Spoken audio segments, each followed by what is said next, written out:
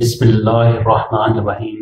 अस्सलाम वालेकुम नाजरीन, पाक सिटीज़न टीवी में खुश आमदीद। अजीम पाकिस्तानी के सिलसिले में एक और दिलचस्प और मालूमती वीडियो लेकर आपकी खिदमत में हाजिर हूँ। मुकम्मल मालूम के लिए पूरी वीडियो देखिए। दोस्तों, आज की कहानी एक पाकिस्तानी नौजवान के मुनफरद और अनमोल कामयाबी के सफ़र की कहानी है।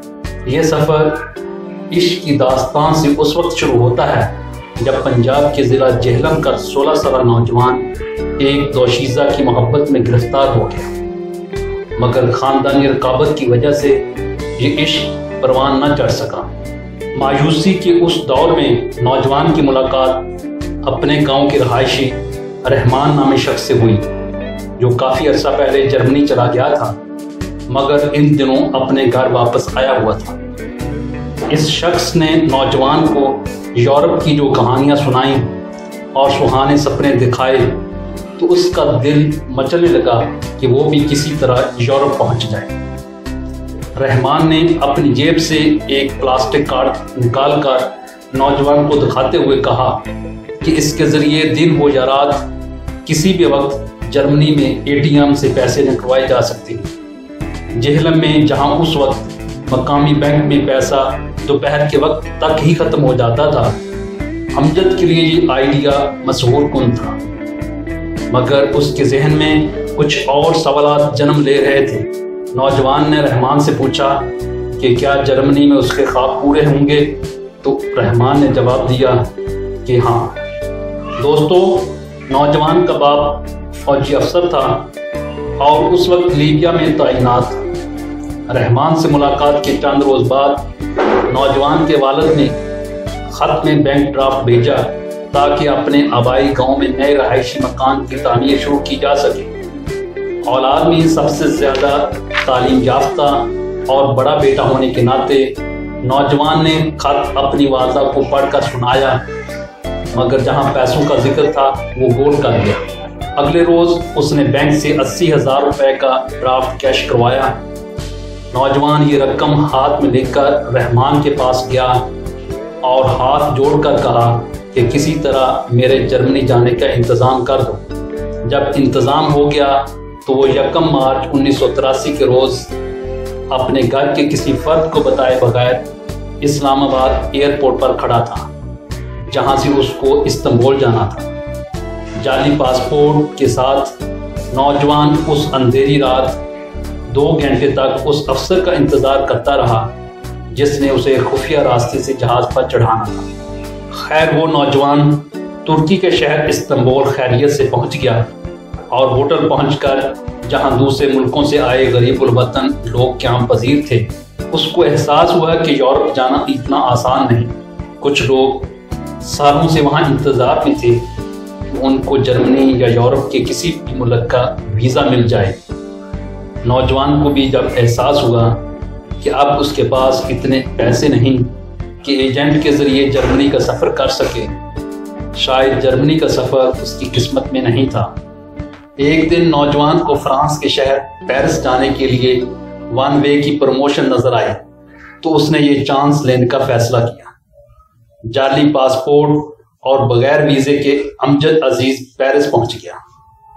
एयरपोर्ट पर जब इमिग्रेशन अफसर ने उसका पासपोर्ट चेक किया तो उसमें गूंद से चिपकी उसकी फ़ोटो ज़मीन पर गिर गई। इस जुर्म की सजा के तौर पर उसको हिरासत में ले लिया गया और डीपोर्ट करने के लिए कागजात तैयार लगे। घर से हज़ारों मील दूर यह नौजवान एयरपोर्ट पर कमरे में बंद था। खौफ से उसका जिस्म थर थर काँप रहा था और तरह तरह के ख्याल दिमाग में घूम रहे थे।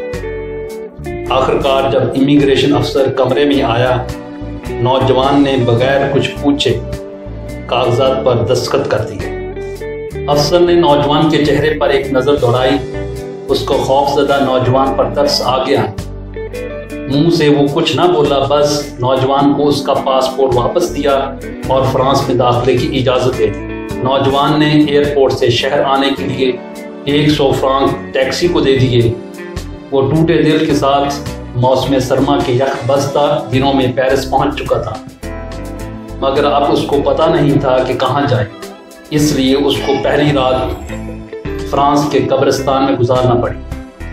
वो काफ़ी अरसा तक बगैर छत पेरिस की खाक छानता रहा। पुलों के नीचे, पुरानी कारों में, पार्कों में, पुलिस की नज़रों से छुप कर सोता रहा।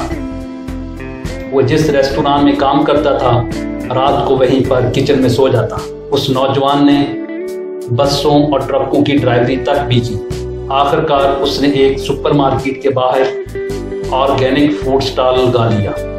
ये उसकी मशहूर ज़माना कंपनी का आगाज़ था, जिसने नौजवान की तकदीर बदल दी। दोस्तों, ये नौजवान अमजद अज़ीज़ था, जो इस वक्त फ्रांस की दूसरी बड़ी ऑर्गेनिक फ़ूड कंपनी बायोमोन्ट का मालिक है।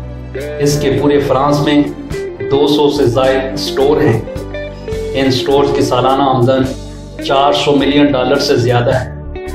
अमजद अज़ीज़ के पेरिस, दुबई और मराकश में भी आलीशान और महँगे तरीन रेस्टोरेंट हैं। उसके मुलाजमीन की तादाद कई हज़ारों में है।